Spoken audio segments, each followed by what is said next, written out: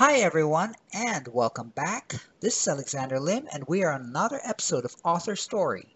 Our featured book is Albert Drosoph's Field Guide to Punctuation for the Observant, the Dismissive, the Curious, the Confused, which you can check out by clicking on the Amazon link in the video description below. Its author, Jenny Hammer, is an outdoor enthusiast and trail hiker who has spent decades, I believe it's over 30 years, teaching English to non-native speakers. So, Jenny, welcome to Author Story. Thank you very much for being our guest. Thank you for having me. You're welcome. So, Jenny, what made you decide to write uh, Albert Drosoph's Field Guide to Punctuation? Was this something you decided uh, on because of an aha moment, a moment of inspiration, or like something that you know over the years or over time you realized you've got to write this thing out? Well, as a book, it uh, was inspired by a, young adult story that I wrote, and that's why why there's the confusing uh, title of Albert Drosoph's Field Guide to Punctuation. He was a character, or is a character, in the children's book. Mm-hmm. Um, and but the but the book is sort of a, a reference guide for the layperson, and that I think came from my years of teaching English mm-hmm. and seeing all the guides and all the the grammar books that that were really too pedantic, too hard to understand. So I wanted to make punctuation uh, interesting and exciting and and helpful. Okay, okay, got that. So uh, Albert Albert Drosoph, you mentioned that he's in the children's book. Uh, I don't I don't think I've encountered this character before. Well, you haven't because the children's book is as yet unpublished. Oh, but okay. He, but the the main character in the book, um, Arden Evers encounters this man, mm-hmm. Albert Drosoph, mm-hmm. uh, in chapter 19, and she um, discovers that he raises punctuation marks mm-hmm. in a vivarium. Okay. So that punctuation marks are living creatures. And that's sort of the, the basis of this book. It's a, a field guide to punctuation that is structured like a, a field guide to birds or a field guide to trees. Okay. yeah. All right. But uh, weren't you? I have to ask. Weren't you a little concerned? I mean, if you make this thing like a field guide, might it this not be like, you know, kind? How, how'd you make it? You, how'd you make it sort of like accessible to the layperson rather than say someone who's a bird lover or an animal lover, something like that? Well, the the idea that's the layout. So. um, it has, for example, it'll have the, the, the mark, Mm-hmm. And then it has common names of the mark. Mm-hmm. Uh, for example, the at sign is called the pr- commercial at mm-hmm. or the rate sign. Mm-hmm. And then it's broken down into description field marks, voice, range and habitat, uh, examples, and then exotics. So the idea is that as you read or as you write, mm-hmm. uh, the, there are these marks that are located in certain places. That's the range, you know, where they quote unquote live. Right, right. And, and um, and I think that, that that's helpful because it it's it's making people aware of the of small things mm-hmm. that make a huge difference in writing and in understanding what you read. Okay, so uh, let me just go a little bit on the basics. Uh, what essentially are punctuation marks? I mean, like most people, you know, they could think like a period's just a small item here, but what exactly are punctuation marks? Well, they're symbols that signify certain things. Uh, for example, the comma. Well, a long time ago in Greek, um, there were no spaces between letters. The, all, the letters were all capitals. Mm-hmm. And writing was predominantly spoken. So the, the original punctuation marks were ways to designate to a reader or a speaker where to pause. Um, and Aristophanes fr- from the Library of Alexandria started the, this process of using little marks to to notate how to breathe, how to pause um, the the tone of the voice. So really, punctuation marks, a lot of them came from the oral reading of text. Mm, okay, and of course, it developed into the written language. I mean, it evolved into the written language, into the uh, the system we know today. Right. And it really become, became solidified after the invention of the printing press. Right. Because different, you know, different people would would punctuate, would use different kinds of marks. Right. But right. but after the printing of the printing press, things became pretty standardized. Right, because everyone had to had everyone wherever they went. I mean, they had to understand whatever it was that was on the page. Right, right. Mm, okay, okay. So, everyday usage. How important are punctuation marks in everyday usage? Well, they they're very important in terms of uh, understanding what you read, and also, um, uh, well, case in point, the the serial comma, uh, which is also called the series comma, or the Oxford comma, or the Harvard comma, uh, is very important, and the lack of it has led to lawsuits. Um, I have a couple of instances, not in the book, but but uh, uh, in uh, 2017 there was a lawsuit here in the United States um, in the Oakhurst Dairy, and the drivers were suing. Mm-hmm. The judge in the case said, for lack of a, a comma, we have this case, and it was a, a, a five million dollar settlement Whoa. based on the, the a comma. This comma was worth five million dollars. Wow. So it's it's not just for clarity of writing and reading, but it's also an economic thing. Mm-hmm. Um, and then there there are cases. Well, in the eight, 1872, and um, a tariff, the writing of a tariff statute, uh, a comma, a serial or a series comma was left off, and and that cost. Well, I think it was two million dollars at the time, which today would be um, mm, I don't know, thirty-eight million dollars. Okay, okay. So, so punctuation can also be very costly if uh-huh. it's it's wrong. Right. And you're, you're speaking about of examples in the uh, in the legal field in uh, in technical in technical things like that. But mm-hmm. how, how about everyday usage? Like I mean, the average Joe or the average Jane. Well, it, it, it creates uh, good punctuation or correct punctuation makes things clear. For example, I think what was um, this past Sunday was the Oscars, and mm-hmm. and at the Oscars, everybody thanks people. Mm-hmm. Uh, you know, thank my I thank my mother. I thank this person. So imagine if someone, uh, of course, this is oral, but if it was if it were written, right. it would be based on a comma or the lack of a, a series comma. Right. So if someone stands up. Um, there was a comedian years ago who who used who who used the example of of her being uh, the love child of Mick Jagger and Hayley Mills. Mm-hmm. So if she were to stand up and at the Oscars and say, "I thank, I would like to thank my parents, mm-hmm. comma, right. uh, Mick Jagger, comma, and Hayley Mills," mm-hmm. she's thanking four people her parents, and then the two others.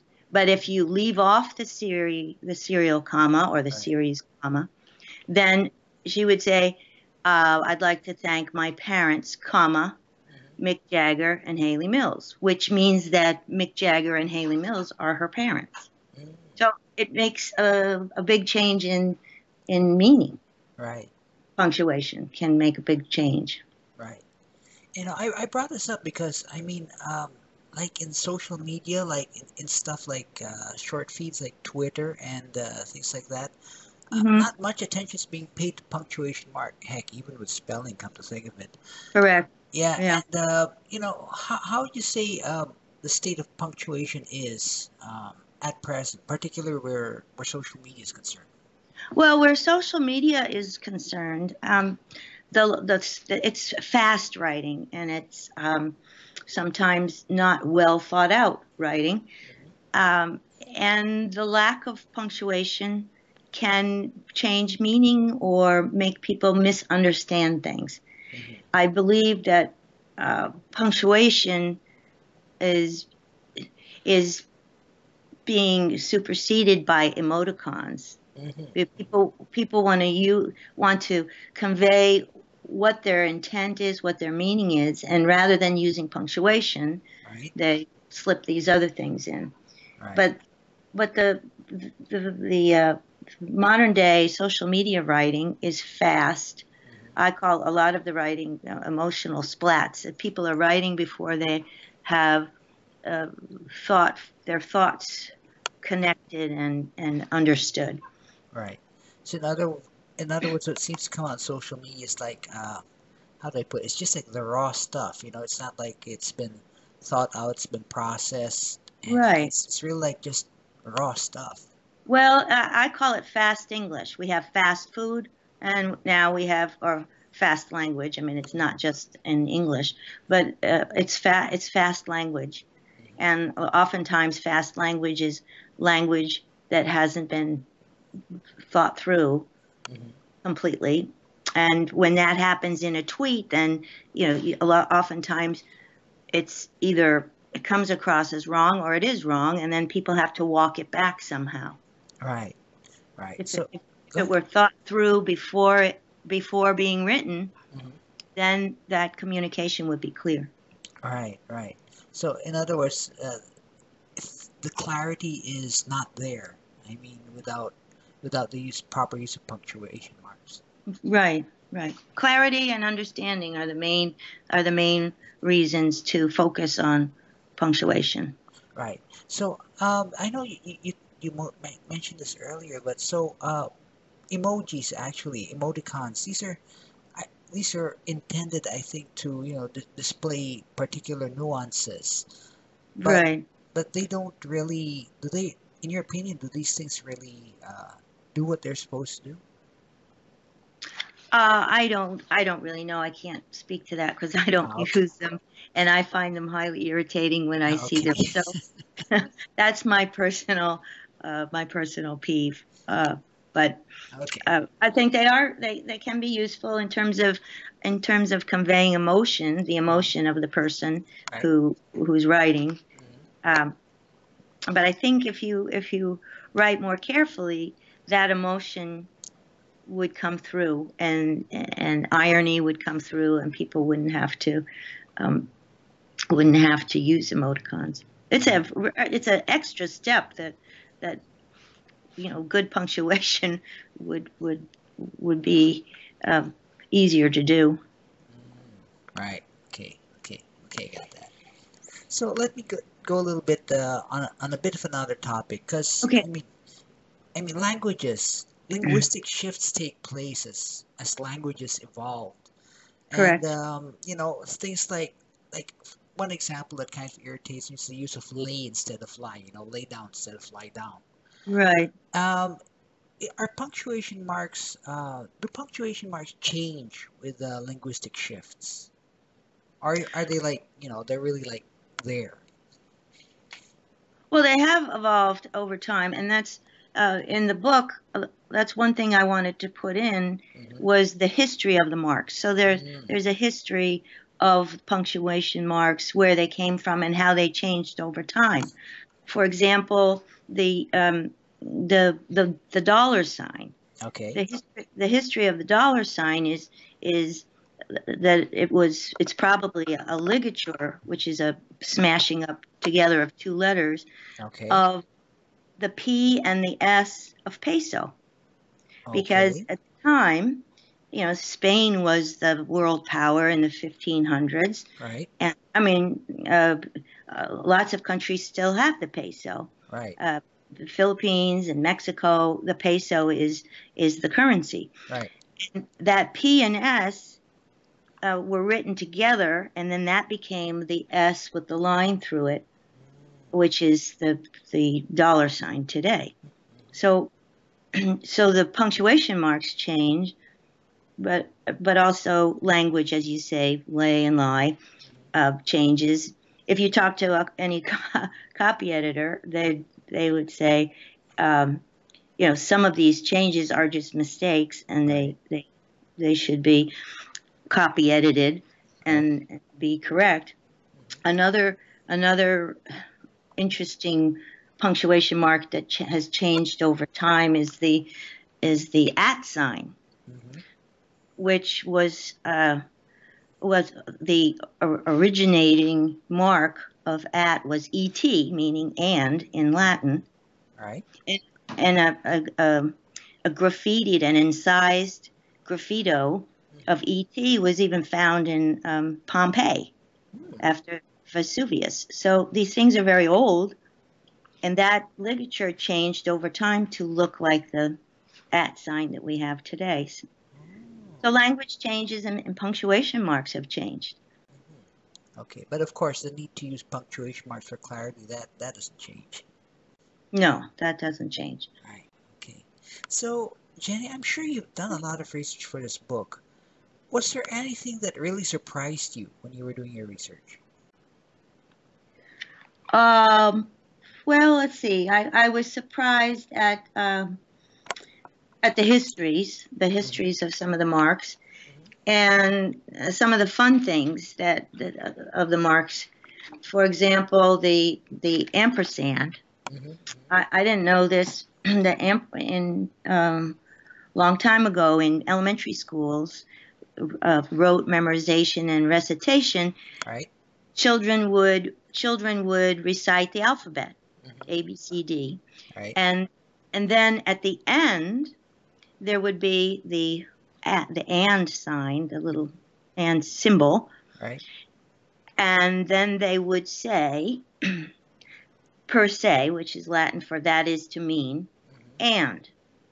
So when they're reciting the alphabet, they would go X, Y, Z, and, mm-hmm. per se, mm-hmm. and. And that became ampersand. Ah.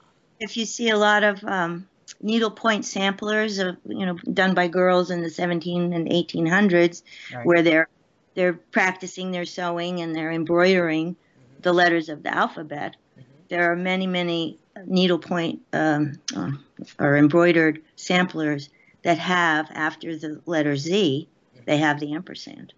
I see. I found that fascinating. I thought that was really interesting.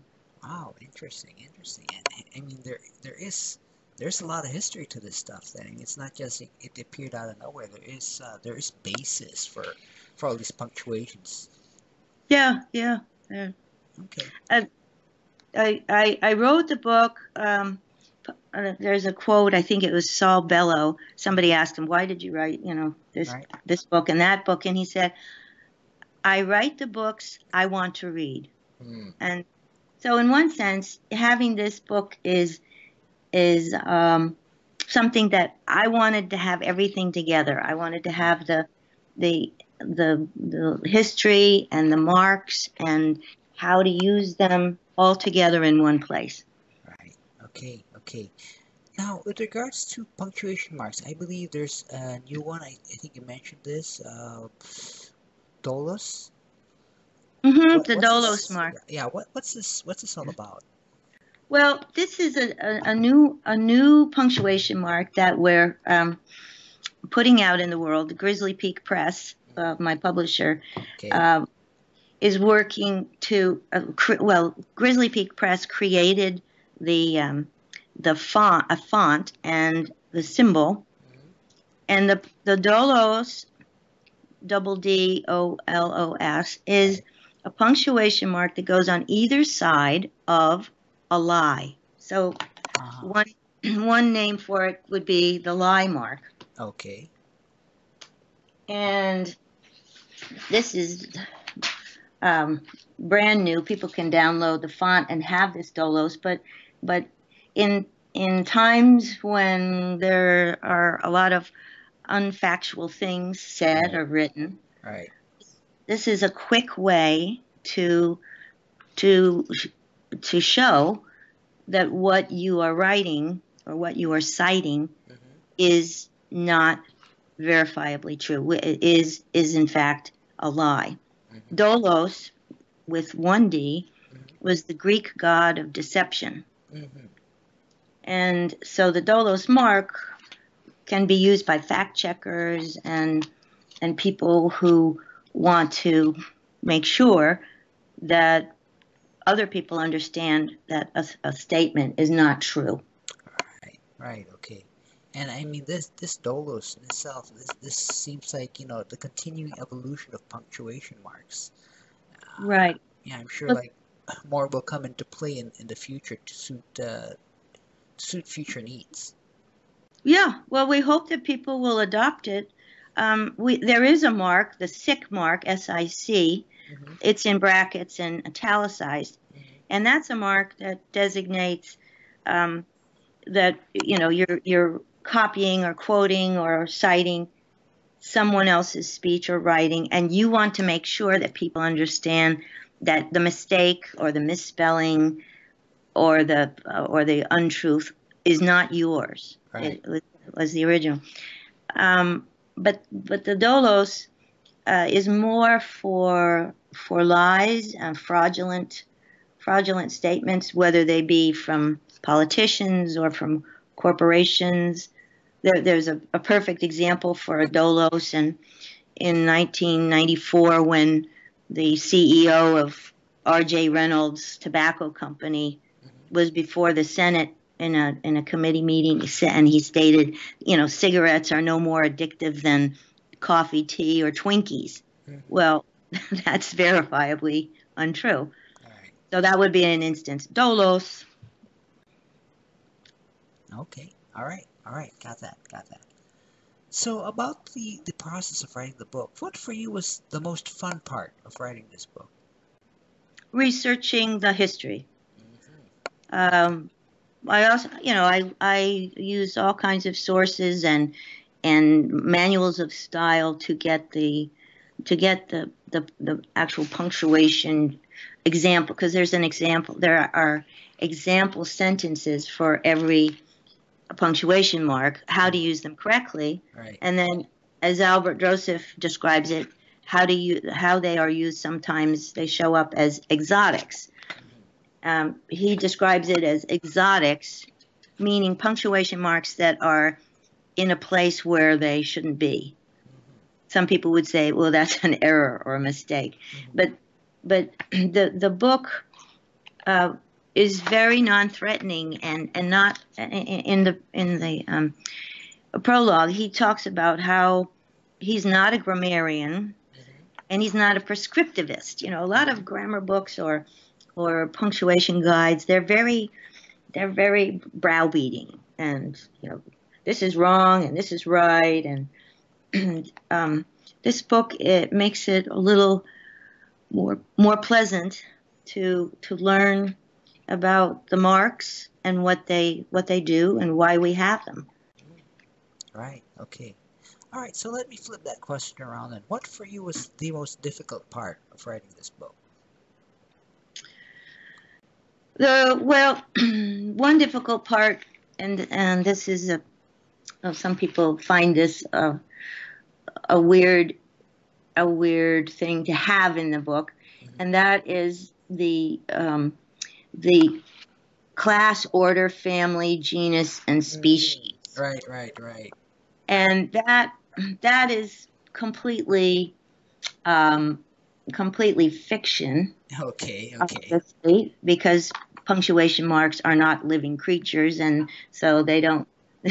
they're not really part of um, Linnaeus's taxonomy, but but to have that is again to follow the structure of a field guide mm-hmm. for animals, and also uh, it it by the by the Latin terms you can see the the relationship of some of the marks. Mm. So some of them are, are graffiti, and uh, I won't go into it, but but right. that that was hard. A because, but it was also interesting to me to find a Latin term that would describe uh, the family or the genus, and then also to run it by people who speak Latin, and right, right, right. Uh, I had to I had to change quite a quite a number of them because they were saying no, that's not that's not the way you would do it. So right, right. But that that part was fun. Okay, right. Cool. But it's also difficult because right. I don't speak Latin and I'm not a botanist or a biologist. So, but I, I I love science a lot of the example sentences are science based. Mm-hmm, uh, and also, you know, they're factual uh, or they've been empirically tested, right. uh, so that we know them as facts.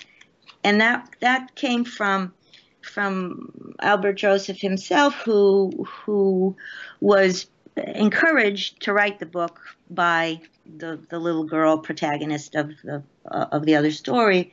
Mm-hmm. Um, but he he was encouraged by her to get out into the real world.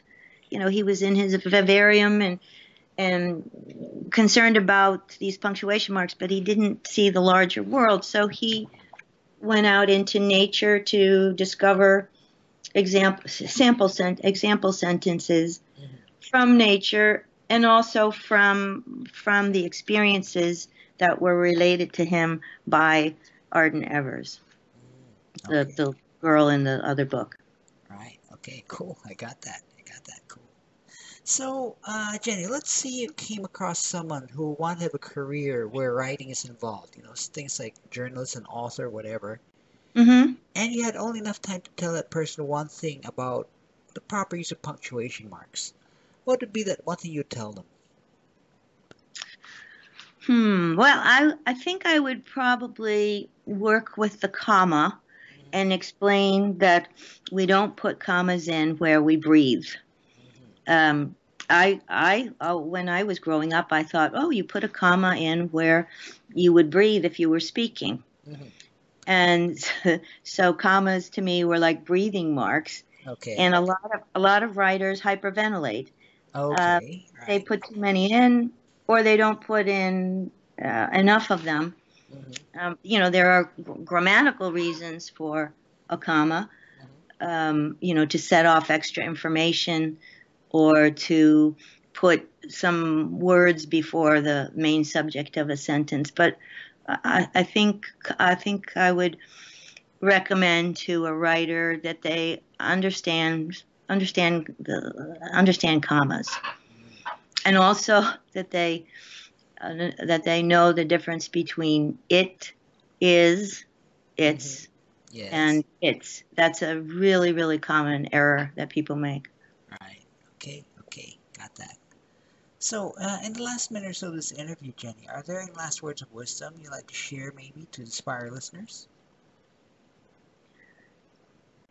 I would I would recommend that people be more observant uh, in what they read and in what they write and also observant in the in the natural world you know small things make a big difference uh, a, a, carbon atom uh, is the basis of a, a lot of life uh, punctuation is the basis of a lot of good writing i'd also say that that um, and, and Albert Drosoph quotes a, a poem by um, J.V. Cunningham.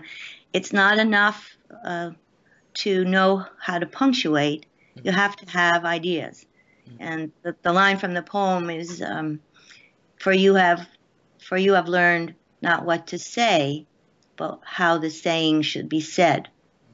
So I think it's important for people to focus more on on their ideas and supporting those ideas with with facts, then you know you know it's fine to be grammatically correct and and punctuate everything correctly and dot your i's and cross your t's, but if you don't have something to say or if what you say is not well thought out, mm-hmm. then the whole enterprise is, is sort of a, a waste of time. All right. Okay, okay. Well, uh, interesting words of wisdom right there. So then, in closing, the book is Albert, Albert Drosoph's Field Guide to Punctuation for the Observant, the Dismissive, the Curious, the Confused. And the book's author is Jenny Hammer. So, Jenny, thank you very much for being an author story. It was very interesting to speak to you about uh, something that a lot of folks really take for granted punctuation. Thank you, Alex. All right, you're welcome. And so everyone, by all means, check out Albert Drosoph's Field Guide to Punctuation and also take a gander at some of our other authors and books which we've already covered in Author Story. and subscribe to our channel if you want. So see you guys all next time on Author Story or when we speak to another great author about another awesome book.